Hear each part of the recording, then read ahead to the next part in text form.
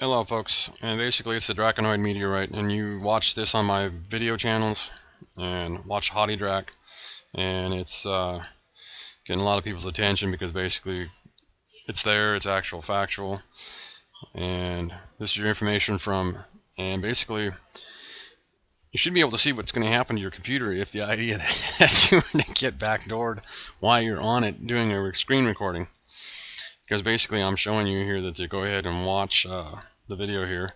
And I guess basically that's it and I just didn't catch the screen of when uh, I got hacked a few and basically this video here shows you what's going on. And basically uh, I believe someone actually caught this with a camera because there is some sound to it. It's like it's not like I was actually caught by a uh, webcam. As you can see the camera's moving also. So basically someone caught this on a webcam. There is sound so you go ahead and go to watch that one there pretty much exactly what I'm just showing you right now but uh, you'll get the sound. So anyway my only thing is is that when we see this here footage coming across it looks more like a satellite and not a meteor okay?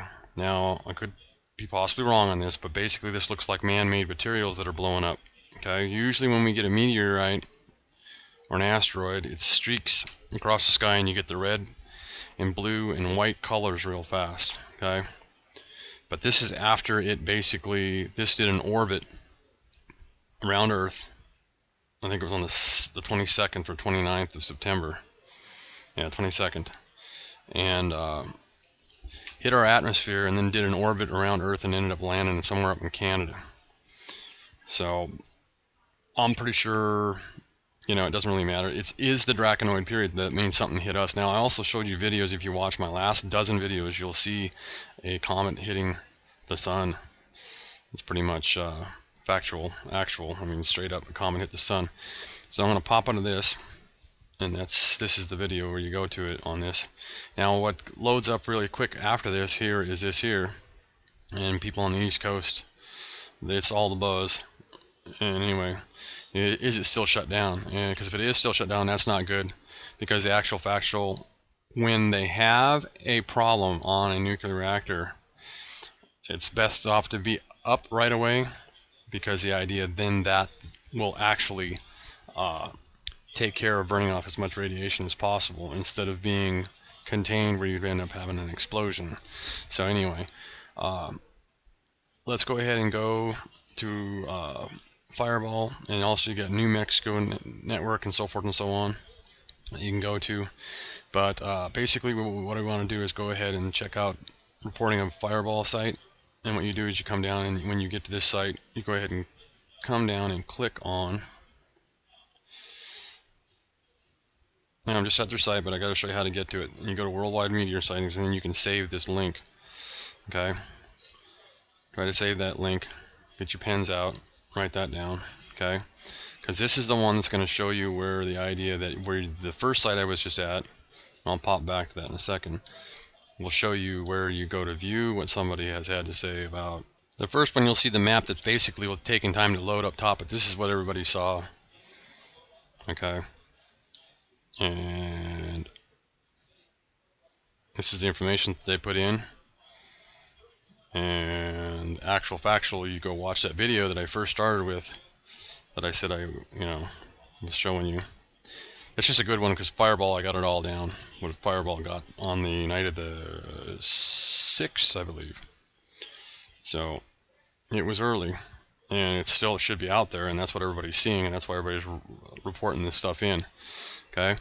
So you go to the site that I had first, and I'm going to pop back through that, and then it'll end up having this map here of where they're at. But that's all this thing really does, just shows you the name of the person, and then you get the information on this on this page that I just gave you the address here. And I'm going back a page, and this is where you initially go ahead and you go to this site to initially get your. Uh, that's the site right there. You get your initial uh, form here to fill out what you see. Okay, and it'll take you through what you go ahead and report whatever you've seen in the sky. Remember my time is always down here in the lower right. I'll bring my cursor down and there it is. You'll see always Central Standard Time, usually recently anyway, only Central Standard Time. And this is radar from your fresh radar from Asgard. Okay, so they have five projectiles out there in the sky that they are following. Okay, this stuff's close to Earth. So basically, right now, there's nothing going to be reported on the 8th. So you go to live, and right now we don't have nothing except for I think you'll have this shot here that will end up showing you, and I load that up.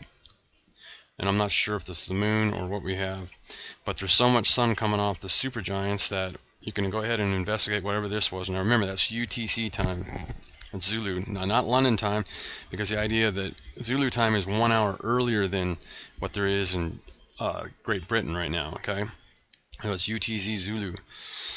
Okay, and then basically what we ended up seeing in the video, you'll end up seeing here. And we caught the Draconoid. Okay, basically, like I said, it looked like a scorpion in this shot here. I'll end up popping this open. And we should get it down in the play, play area here. And there you go. It looks like a scorpion to me as far as I saw it. And it's pretty dramatic stuff, so There you go. Like I said, it looks like a scorpion to me. And then we get out of this one and we'll pop down and you basically, you're just going to go watch the video that I had. And basically you're going to see this here.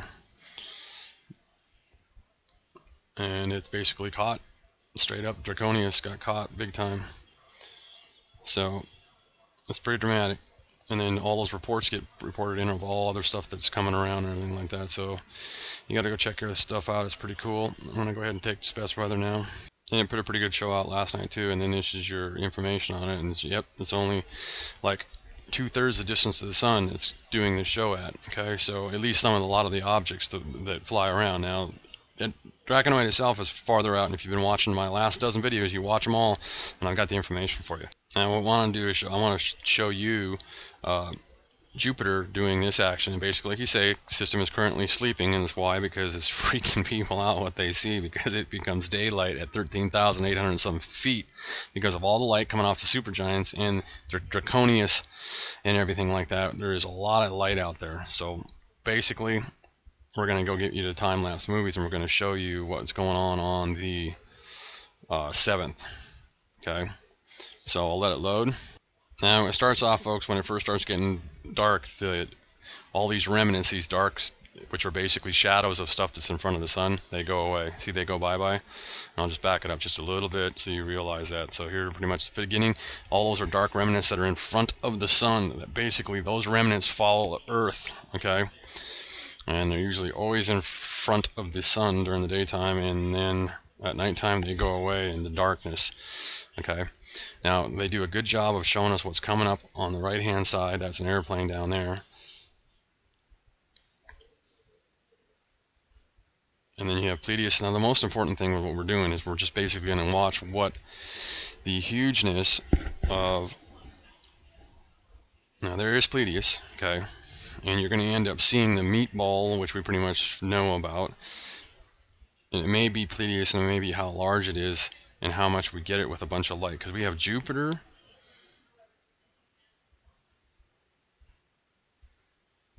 And I'm going to show you the 6 too, because the 6 is even better. Jupiter, Betelgeuse,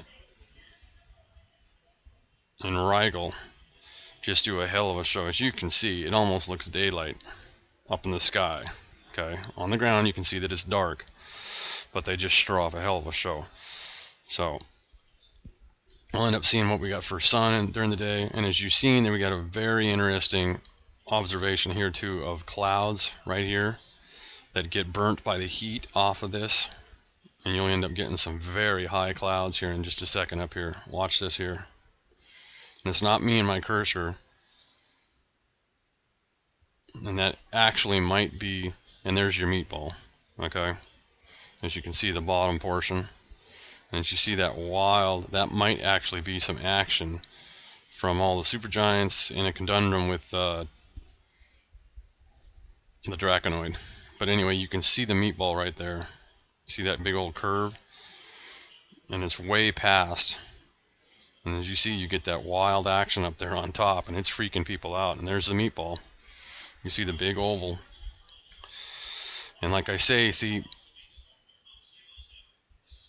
it basically is just in a viewing area right now because we're seeing in the back door in the dark again like we did last fall in the darkness of space in Regulus in Venus putting on a heck of a show with all the sun and the supergiants propagating on the planets everything's really bright and everything's in alignment Let's see what we get for daylight when it comes up. There's the supergiants. It's putting all the light off on all the planets and look at it. And then here just comes the sun. And there's its signature. And you can basically take and stop the video and freeze and get those arches and little crackling, whatever the heck that everybody says crystal, well, diamond, or whatever natural elements of space is out there that gives you that architecture on the bottom of the sun.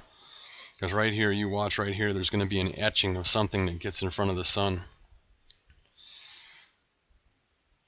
As you see this etching right there and I'll back it up again and shut up and then with the cursor and stuff and you'll be able to watch that. You should also be able to back up. So I gotta hurry up and try to get the 6 in here. I'll let the sun come up here one more time and you can see that etching but because we'll be able to see the meatball in the 6 also. And there's that wild etching and everything like that with the sun coming up. Okay. And your remnants come back up there too. Okay. So we'll go ahead and pop in the 6. They're loaded pretty fast, and here we go. There's the remnants, and they'll go away in the dark. And I'll blow up the full screen here, and that'll escape here in a second. And the remnants will be gone too, so I'll just back it up, and there you go. And get out of the way, and there's the remnants. Neptune, Fomalhaut. Okay, so you do get that there shot of sunlight from Fomalhaut, as you see from way out in space so it's way hell away but watch that little shot of light that you get drag it back just enough see that little shot of light you get from Fomalhaut play it again for you. Watch Fomalhaut give you a little shot of light from way out in space. It's like 6,700 kil. So, as we go through, I should have hopefully not taken up too much time, so we're going to go through here now. You want to watch for after uh, Jupiter, and I believe it is, uh, it's going to be Rigel, or now there's Pleiades, and basically the meatball is up there behind and then basically it's going to come into effect here in a little bit because Alderbaran and the Supergiants and Jupiter put on a hell of a show. Watch the sky get bright. What a show. That's not the sun, it's not the moon, folks. That's Jupiter. And all the sun from the supergiants. Betelgeuse is there, Rigel's there, Sirius. And it's just hella bright. And I'm going to bring this back real fast because we'll let it play through again. The actual factual, as you watch the top of the screen, you'll end up seeing the meatball because you'll get it to basically show itself because it's lit up enough. And there's the bottom of it right there.